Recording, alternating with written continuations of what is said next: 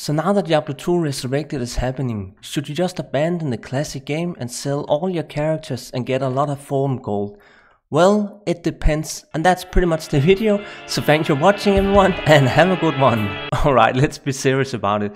But um, this is a debate that is going on right now. A lot of people are gonna believe that in a year or two the classic game is going to be abandoned, and the only people who are gonna stick around still having all the wealth and all the items and whatnot are going to be those hardcore PvP types who are basically keeping the economy alive at that point. But uh, yeah, I'm gonna take uh, an example here with my Tesladin a build that I show quite a bit on the channel. Let's just go through what sort of wealth and average character as I have on my free accounts online. So I think it's fair to say that if I had to guess right now, I could probably sell all the loot on this entire character, plus, let's see, stash items for maybe like 800 to 1000 FG. 1000 would probably be a high bet, but at least 500 for sure, maybe 800. So let's see, uh, laying of hands, perfect. I think that also maybe perfect. That's maybe like 5 FG. A good little lead string here is maybe 20, 30 FG. A rock belt is like 2 FG. A good ring here could maybe be like 50 FG. Some upgraded gore riders could maybe be 20 FG. A nice grief here, very close to perfect, could be maybe 50 to 100 FG. An Enigma is always worthwhile to just kind of sell fast for maybe 20 to 30 FG. A Dream Sacred Targe is going to be depending on kind of the market, but I would think maybe 50 to 200 FG, bit hard to say. And the same thing for the helm is also going to be, well, it's going to be less than the shield, but it's also going to cost like maybe 50 to 100 FG. Hylia's Wrath doesn't really matter, maybe 1 FG or whatever. And then I have all these nice skillers here, so they are maybe like 20 to 50 FG each.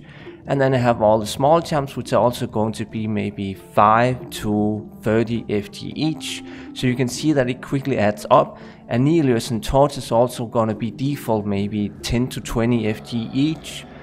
And then I come to my priced little item here.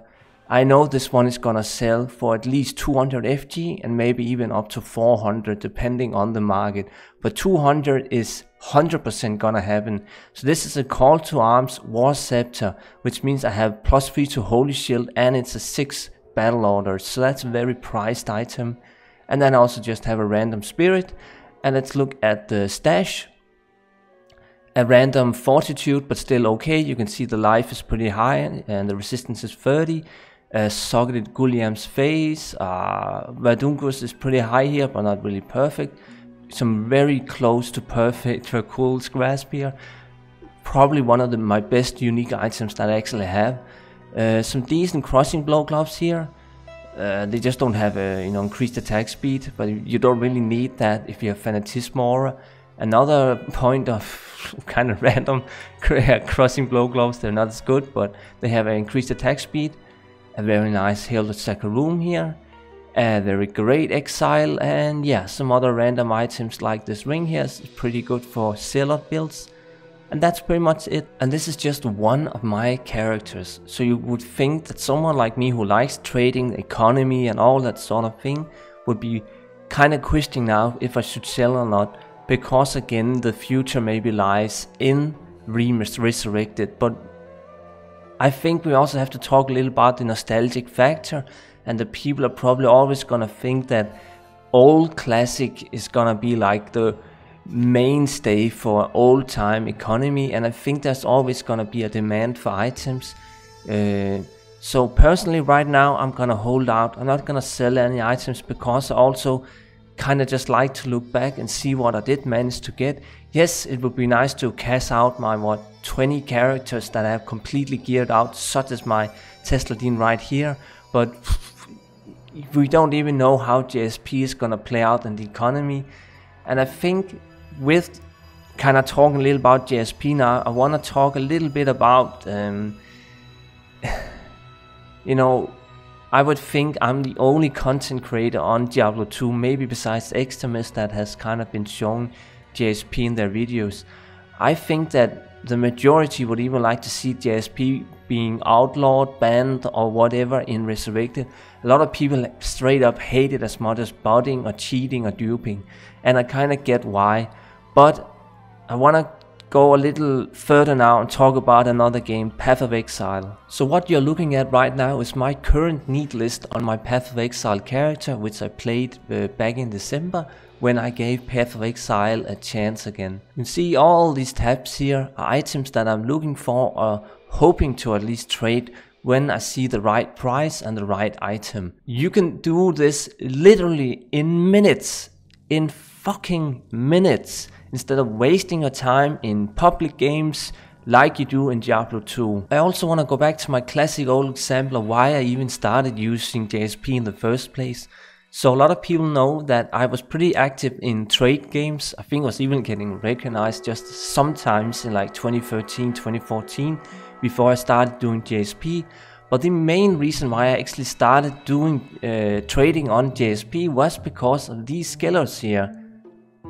You have no idea how hard and how long I tried to get just one of these freaking skillers here so I could finish up my Javazon. Um, I think I may maybe spent two or three months in game every day just kind of having an open trade game, you know, making a game and being semi-FK for an hour or whatever in prime time. But nobody was ever gonna sell them to me in game. But as soon as I jumped on JSP, it literally, it literally took a week maybe two weeks, and I had a full inventory to go and ready, easy peasy. Um, yeah, it, it, it, it was mind blowing. And that is why I again want to show Path of Exile. You can see right here, uh, I'm on the official, yes, the official, so it's completely supported by GG, the developer, whatever they were called, Grinding Gear Games. Uh, it's amazing to see that even they support browser-based trading it's so easy to look up. You can find literally anything with just uh, with their own tools.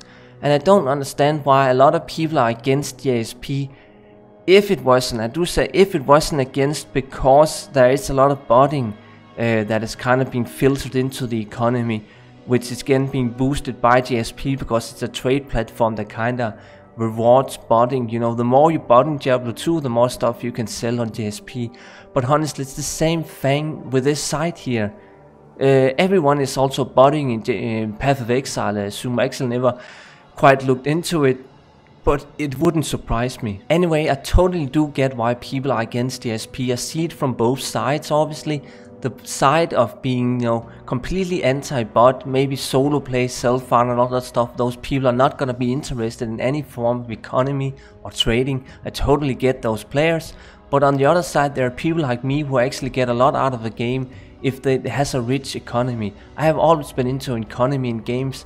I remember when I played uh, an MMO uh, that was called Rift, so it's a pretty much dead MMO nowadays. It tried to compete with World of Warcraft and whatnot. But I only played that for like one or two months. It was actually very good.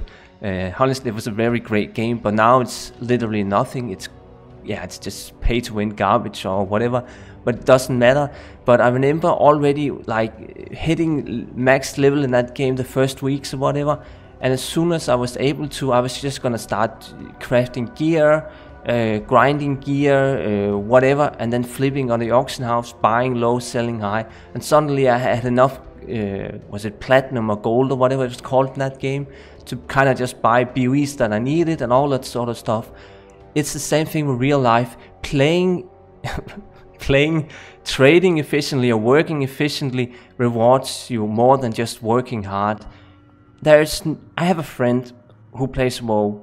He likes to never engage in the economy. Well, rarely he does. He just likes to farm, be self-sufficient, finding his own materials, crafting his own uh, items and whatnot.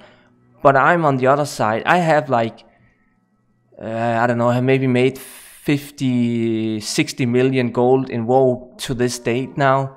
Uh, that's a lot of gold. I obviously spent a lot of it as well. But anyways, uh, I have never grinded for anything since maybe Wrath of Lich King, end of Wrath of Lich King.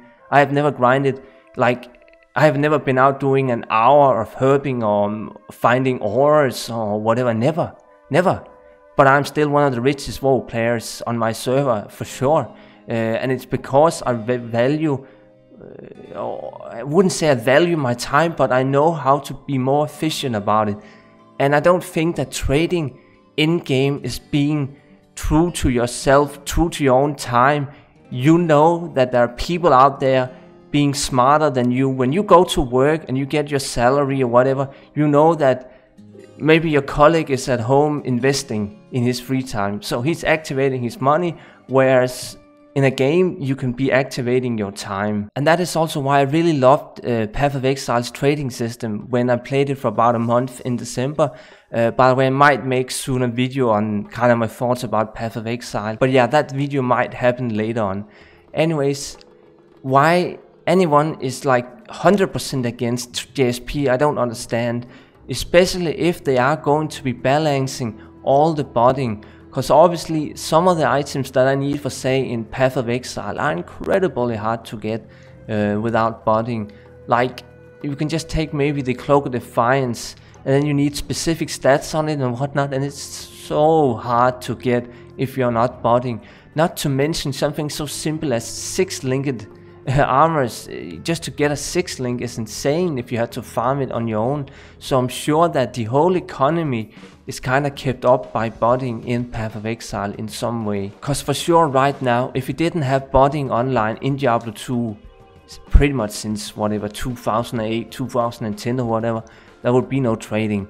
Nobody could get items in Diablo 2 through trading if it wasn't for botting. And it's the same thing in World of Warcraft. I talk about it, I have made 50 million gold in WoW or whatever, but how much of that gold uh, is not bound to somebody botting? Uh, it's really, really just insane to think about that I benefit from somebody cheating in a game, but that's pretty much the sad truth. But now, I really do believe that the developers and Blizzard with the new modern Battle.net system are at least gonna make it just a little bit harder to bot. For one example, you know that right now Diablo 2 needs CD keys. You can just buy a flip CD keys on an illegal site or whatever and then set up your next uh, bot account for Diablo 2. Battle.net works differently 2.0 or whatever you want to call it, the modern Battle.net. You need a verified, verified uh, phone number, I believe, and it's kind of just more clunky to set up uh, a new account as well as 40 euros. 40 euros that's a lot.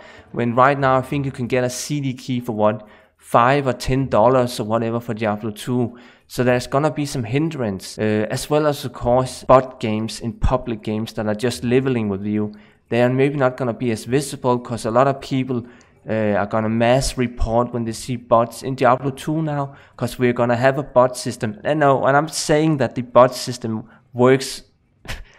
let's just be honest, it barely works in World of Warcraft. Like you can run behind a bot in that's farming, you know, those stupid druids in Bastion or whatever that is farming herbs 24/7. Ten people could report them a day. You know, right click the character's name and report, and it, it would still run for a week or maybe a month or two before Blizzard finally gets to those reports and ban the account. But by then it has already, you know, farmed for so many hours, it doesn't really matter. Anyways, it's still gonna be better. So don't think that botting is gonna be that much of an impact, which again is gonna make to me or make me believe that JSP is not gonna be fueled that much by botters. But again, this is just speculation on my side. It's a lot of opinions and whatnot. So I would love to know your thoughts about the whole economy aspect of JSP. Should you sell your items now? Should you cash out? Should you just be nostalgic like me, keep all your items or whatever? And especially just how you see the bot problem and all those sort of economy things and how Diablo 2 Resurrected is gonna play out. Anyways, it's a long ramble video for me now. But uh, yeah, I had to bring this up now because I do see it a lot on forums right now especially in regards to how the economy and botting is gonna uh, develop in Resurrected. Anyways, thank you so much for watching everyone and have a good one.